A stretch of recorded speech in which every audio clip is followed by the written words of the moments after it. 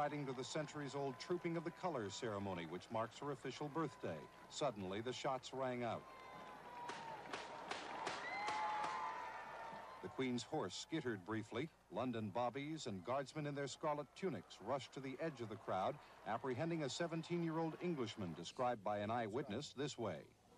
Tall and about 6'1 and slender, with short brown hair and, you know, with the Charles and Diana button on the lapel of his coat.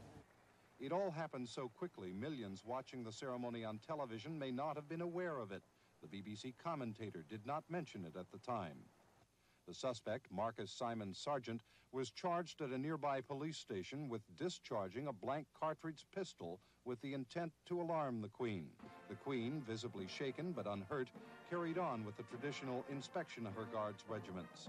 After the attacks on President Reagan and the Pope in this year of a royal wedding, security had been intensified.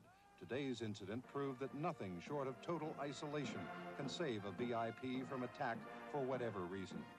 Jerry King, ABC News, London.